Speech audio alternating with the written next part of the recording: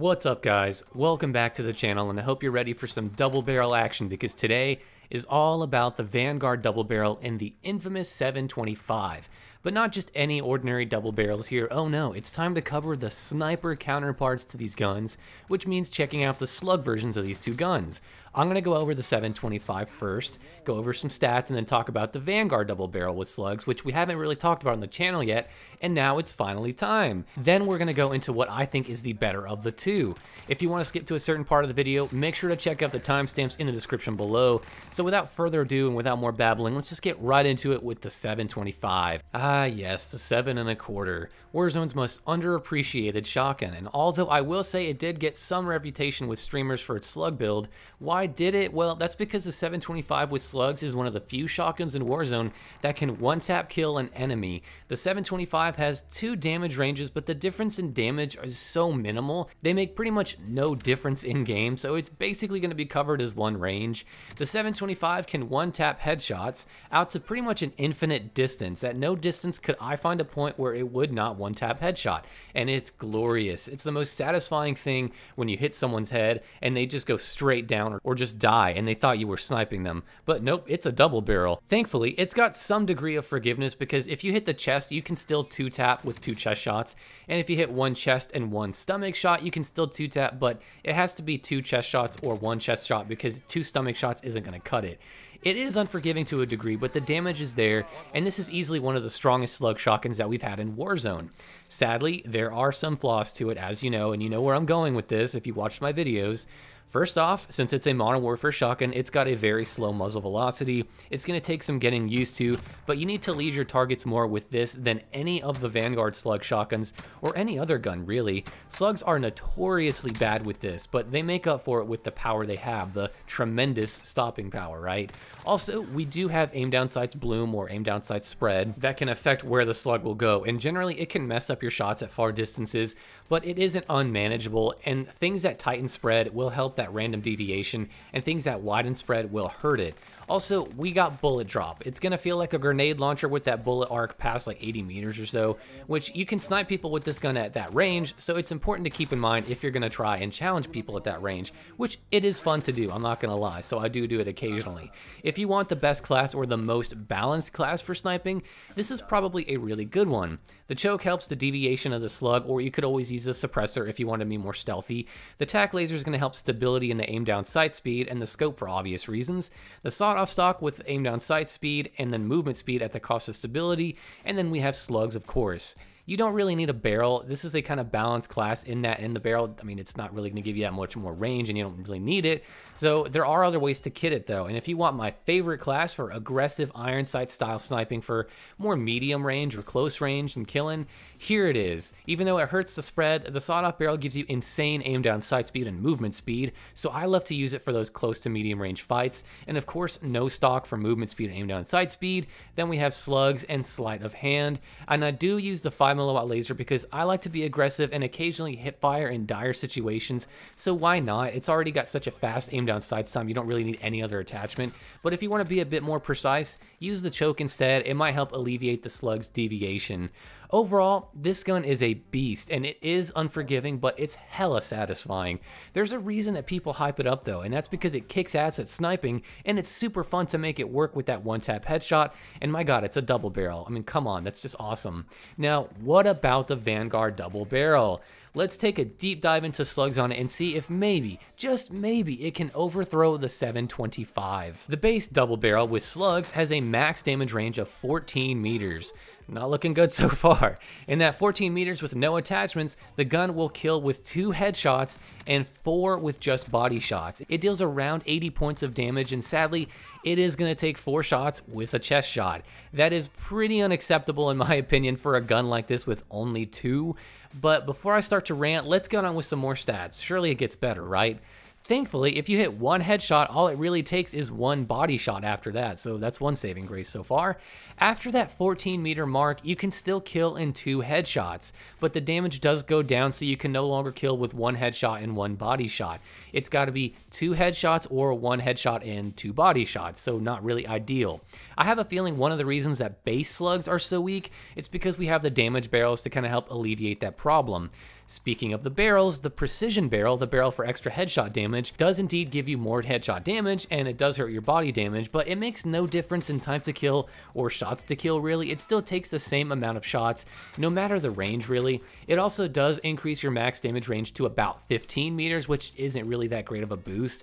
And ultimately, it's not worth using as far as I can tell because the fact that it reduces body damage and hurts movement overall is just really not good. The Huntsman barrel, which is the biggest barrel for range, just gives you more range, really up to 17 meters now for that max damage range, but it doesn't change damage at all. And again, it's going to weigh you down too much for that measly 2 meters of range you end up getting. So, so far, these two barrels, just really avoid them. There's no reason to use them with slugs on this gun. Now, the other two things do get more interesting. First off, the sawed-off barrel is next on the list. Increases our damage by quite a bit, and headshots can deal just almost enough damage to one shot kill to the head, but it still takes two headshots. The saving grace, if you can call it that, is that you only need three body shots to kill. Wow, only three shots with a double barrel. Sign me up, am I right? Yeah, well, you know it's sad when I'm slightly excited that a double barrel doesn't take four shots to kill. Now, while it does say that the barrel does hurt range, it in fact gives you more range, and it takes that max damage range up to that 19 meter mark, which is the most we've seen so far and is actually pretty good. So this one is the best barrel so far, but what about the Defender barrel, right? The Defender barrel takes two headshots and four body shots. Yet again, it takes our max damage range up to 16 meters, so the sawed-off is still kind of the best barrel to go with at this point. One small thing I do want to point out though is that we have vital the proficiency on this shotgun, which increases the damage we do to the chest area. And while the other barrels don't benefit much at all from its damage increase, it makes the defender barrel's chest shot area a three shot kill while keeping the stomach at four though. So it's a little less unforgiving, but still really, really bad. Even though that's nice, I still think having the sawed-off barrel's damage is probably better overall. So I'm to have to declare that the best barrel to use. You can get one headshot and one body shot and kill pretty far with it, but that massive downside we have to talk about to the barrel is it really hurts your accuracy.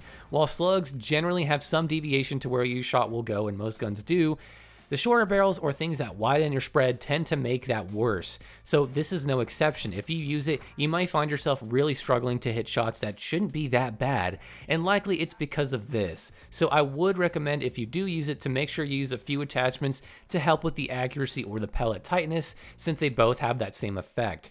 Also, this barrel does not really have any little iron sight to look at, so you might need to use a slate reflector or something like that. If you want to know what the best class is, or quote unquote best class, here you go. Notice I have no magazine attachment, and that's because 16 gauge hurts damage and the other attachment has literally no effect on slugs. As far as my thoughts on the gun, you saw this coming. I gotta say, it's pretty shit. I don't know what they were smoking when they decided that slugs on a double barrel, a gun with only two shots, has no capability to two shot kill with a body shot. I mean, I get they want to make it for more accurate players, but come on, this is a bit excessive, especially when you only get two shots and a slow reload. So which double barrel slug shotgun is the better of the two? Do you really have to ask? Obviously, the 725 is hands down the better of the two in almost every single conceivable way, besides how it looks. The 725, it can snipe people. It has insane headshot damage that'll down players in one shot, and you can still two-tap with a chest shot, and if you hit chest and stomach, you can also two-tap. Ultimately, this is a blast to use, and it's like the combat shotgun with its one-shot headshot capabilities, but this extends to basically an infinite range essentially. You just have to be mindful of the bullet drop and the travel time for these slugs, since I will say that the Vanguard double barrel does have it beat there, but still it's such a bad gun. If you want a good double barrel to snipe with, the 725 is still the king. Don't even bother with the Vanguard double barrel with slugs, just don't. They've nerfed the Vanguard shotgun so much that even slugs just seem like an afterthought and can't really do much for viability. Hopefully it's just an oversight, and I do plan on complaining on Twitter to devs to see if some attention can be brought to it just to see if it's at least intentional.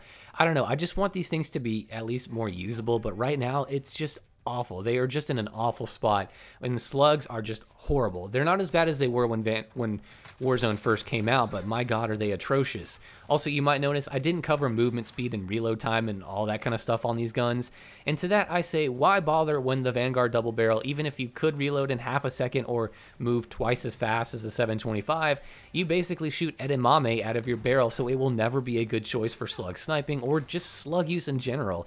It's such a shame. It's a cool gun. I love side-by-side double barrels. It reminds me of Doom Guy's shotgun from Doom, of course. But my god, it's atrocious. I pushed off making this video because it's no fun using these setups that are that bad with little to no upside. So, like I said, stick to the 725. There's really no reason to use the Vanguard with slugs, I promise you. And guys, that is to do it for this video. I know it's a little different. It's sort of the battle of the slug shotguns, right? I just finally wanted to talk about the Vanguard double barrel because I know a lot of people have been asking about it with slugs. And I gotta say, it's pretty disappointing. And I gotta say also, don't bother using it. It really is not worth it. So like I said, 725 is the king here. But let me know down below in the comments, what do you think of this video? What do you think about the Vanguard double barrel with slugs in particular? Have you been using the 725 still? Are you still having a blast with it? And with all that being said, guys, I will see you in the next video.